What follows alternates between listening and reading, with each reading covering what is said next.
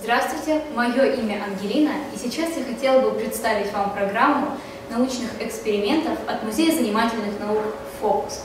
Программа носит имя «Воздух» и, как ни странно, связана она с воздушными шарами. А вам уже удавалось проводить опыты с ними? Вне зависимости от этого, я надеюсь, что каждый подчеркнет что-то новое и интересное из сегодняшней научной программы. Ну что ж, время начинать. Но прежде всего мне надо узнать, не боитесь ли вы звука лопающихся шаров? Сейчас мы это с вами проверим. Неприятно, правда? К сожалению, они будут, он будет сопровождать нас на протяжении всей программы. Время для самого интересного. Итак, мы только что увидели, что одна маленькая иголочка с легкостью разрывает воздушный шар. Что же будет, если мы будем воздействовать на воздушный шар помощью огромного количества гвоздей. Здесь у нас находится стул с гвоздями. Давайте перенесем на него камеру. Здесь их около 1068. Так вот, как вы думаете, сможем ли мы лопнуть этот шар, надавив на него? Смотрите, я давлю на шар и даже бью его о гвозди, но ничего не происходит. С чем это связано? Если бы я давила одним гвоздем в одну точку, шар очень быстро разорвался. Но так как я воздействую на поверхность шара, то такого эффекта не происходит. Это то же самое, как с нами. Вот вы, когда идете по снегу, вы проваливаетесь в него, а если вы встаете на лыжи, то можете спокойно по нему перемещаться. Чем больше поверхность, тем меньше давление на ее конкретную точку. Оно равномерно распределяется, за счет чего шарик не лопает. И я даже могу на него сесть.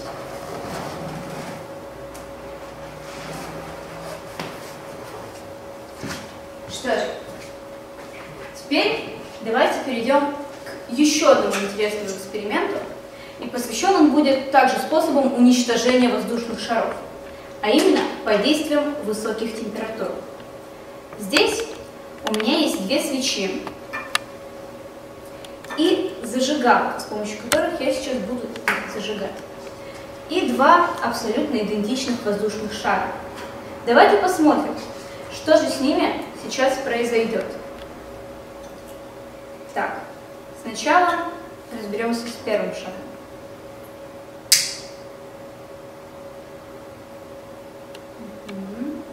Поджигаем.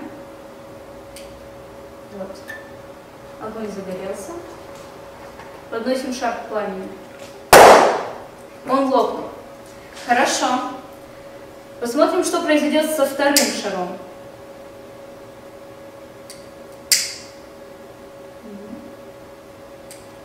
Огонь тоже есть.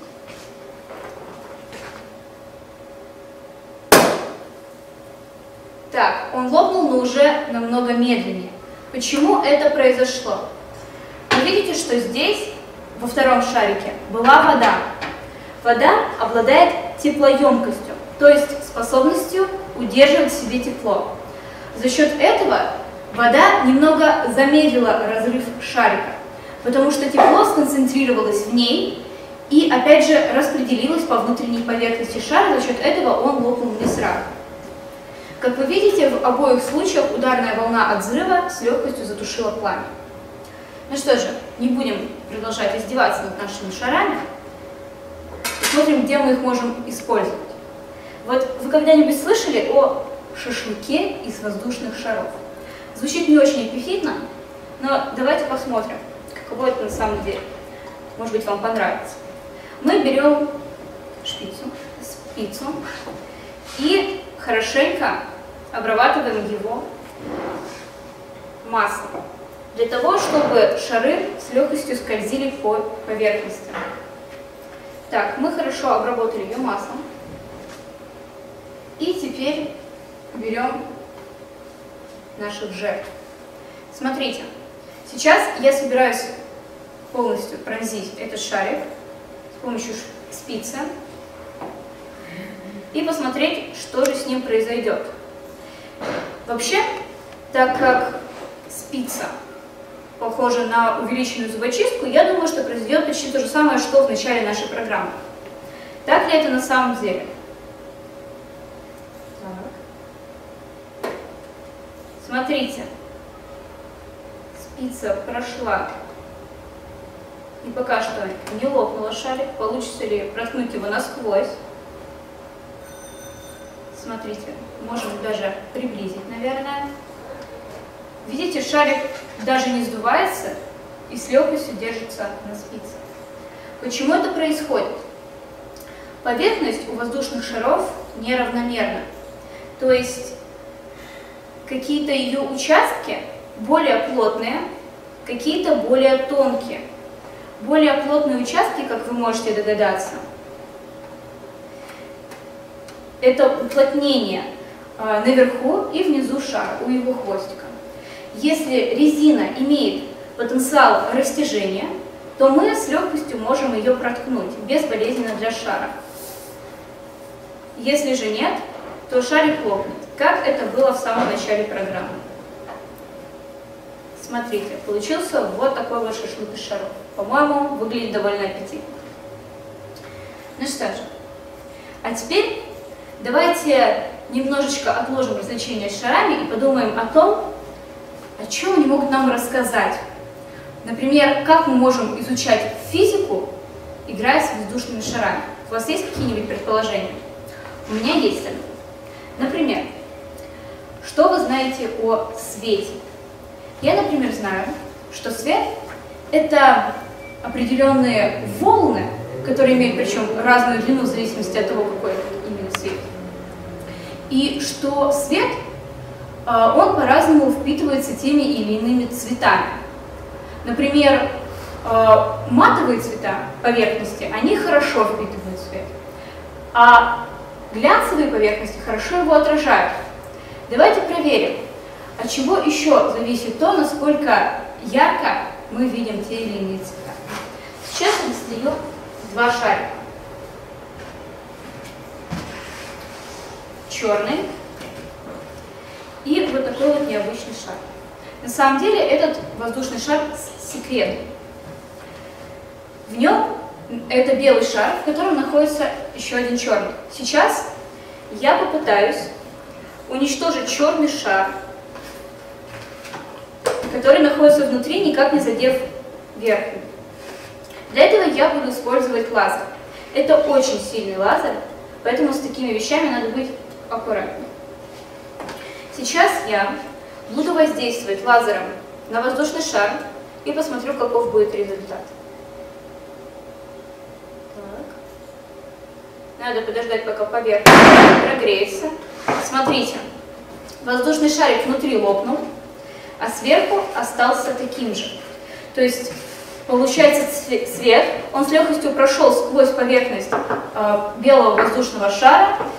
Темная поверхность, она обладает низкой отражательной способностью. И поэтому весь свет концентрируется на ней, и за счет этого происходит нагревание поверхности. Мы видели, как воздействуют высокие температуры на шар. Здесь произошло то же самое. Из-за того, что поверхность шара нагревается, частицы внутри шара, молекулы воздуха, начинают двигаться быстрее. Когда они двигаются быстрее, они сталкиваются и разлетаются на более далекие расстояния. Следовательно, воздух расширяется. Из-за того, что воздух внутри шара начинает расширяться, а стенки шарика остаются в таком же положении, они просто разрывают их изнутри. Это вы увидели здесь. Так как белые шарики обладают хорошей отражательной способностью, то они пропускают сквозь себя свет, а его излишки просто отражают. Вот я, например, здесь даже могу видеть свое отражение. Но есть ли способ уничтожить вот такой вот шар? Сейчас я попрошу своих ассистентов принести мне перманентный черный маркер для того, чтобы разобраться с этим воздушным шаром. А то как-то несправедливо получается, что он один тут остается. А мы пока... А, благодарю, мне уже принесли перманентный маркер. Сейчас мы посмотрим, можно ли а, искусственно создать какую-то черную точку которая могла бы удерживать тепло, когда при этом вся остальная поверхность остается белой, и это самое тепло хорошо отражает. Смотрите. Я нарисовала жирную черную точку. И сейчас я буду воздействовать лазером именно на нее. Посмотрим, что произойдет. Шарик взрывается по тому же принципу, о котором я вам сказала ранее. Хорошо. Давайте еще немного поговорим о высоких температурах. На самом деле, они могут не только уничтожать шарики, но и помогать им поддерживаться в воздухе. Например, вот вы знаете, как работают воздушные шары? Получается, сам купол, он постоянно нагревается, э, туда поступает горячий воздух, который, как мы уже посмотрели, намного расширеннее, чем холодный. Из-за этого купол шара постоянно поддерживается в натянутом состоянии и с легкостью перемещается. Так вот, сейчас мы посмотрим с вами, а, сможем ли мы запихать вот в эту тоненькую, с таким не особо большим горлышком бутылку, воздушный шарик, который превышает это горлышко безболезненно для него и для бутылки. Так, для этого нам понадобится воздушный шар. Сейчас я его надую.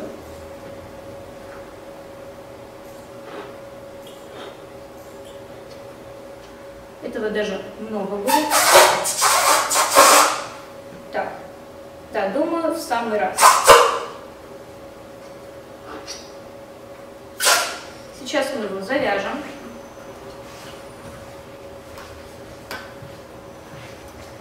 Смотрите. На столе у меня лежит фен. Именно с помощью него мы будем нагревать наш э, воздух внутри бутылки. Как это будет происходить? Так, у меня получилось завязать воздушный шар. Смотрите, сейчас он не пролезает в верно? И не представляется возможным что-либо с ним сделать. Но что будет, если я нагрею воздух банки. Так, подержи хорошенько.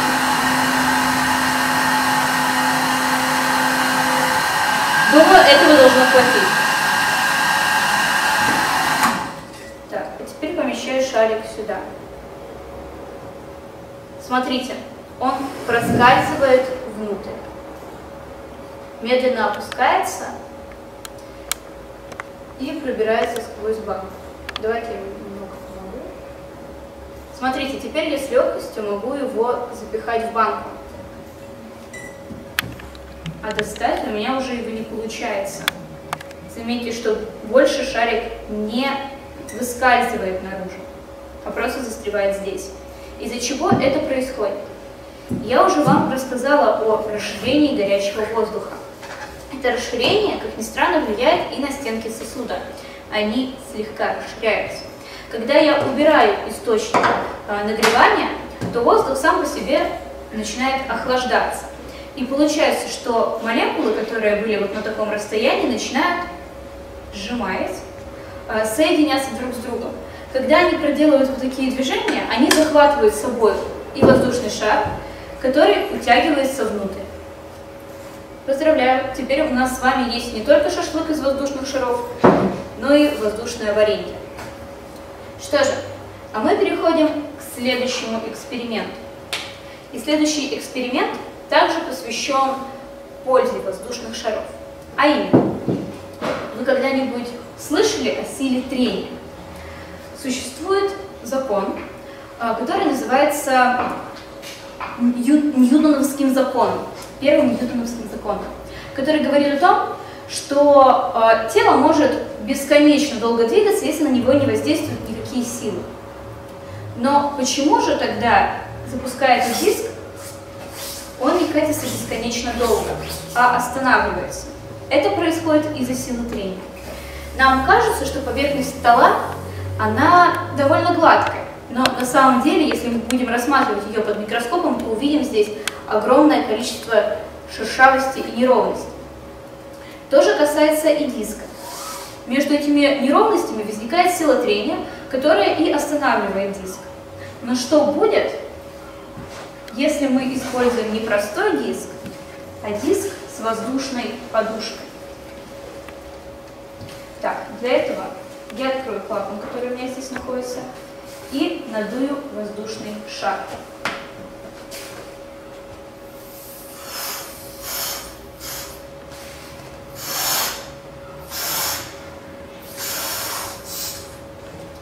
Так.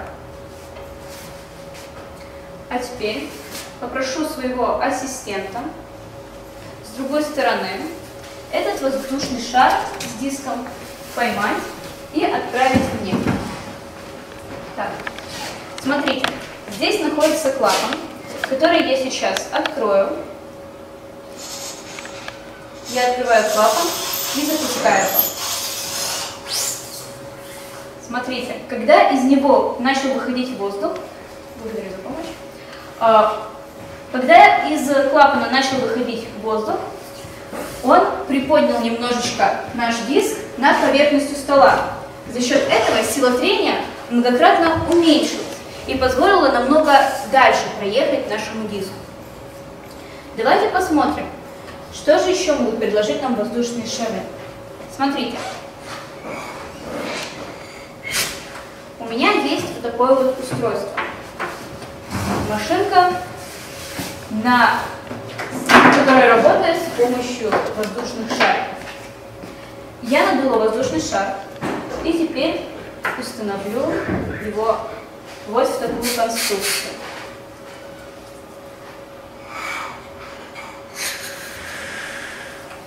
Я прикрепляю его к машинке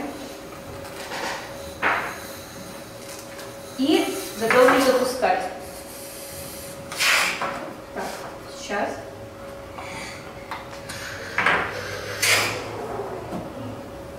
Смотрите, получается, когда воздух опять же выходит из шара, он отталкивается от воздуха, который находится вокруг машинки, и толкает ее вперед. А, это пример реактивного движения, на котором работают, например, космические корабли. В космических кораблях, а, которые летают в вакуумном пространстве, существует такая система, которая выпускает газы, которые сталкиваются и, отталкиваясь друг от друга, создают двигающую силу. То же самое используется, например, водными существами, такими как каракатица, осьминоги и другие головоногие моллюски. Так вот, получается, что с помощью воздушного шарика мы только что с вами разобрались с, с реактивным движением и посмотрели на то, как частицы воздуха, отталкиваясь друг от друга, создают двигательную силу. А теперь предлагаю вам немного отвлечься от сложных экспериментов и устроить музыкальный концерт. Сейчас я закручу этот воздушный шар, а вам необходимо понять, что там находится.